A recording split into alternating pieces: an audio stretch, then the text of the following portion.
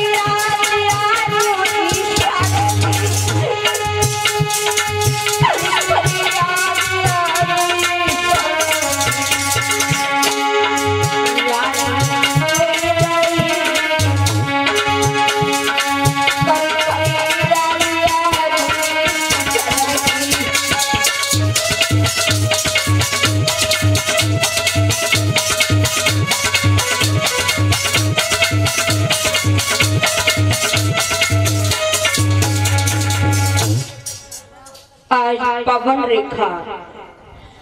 अकेली ही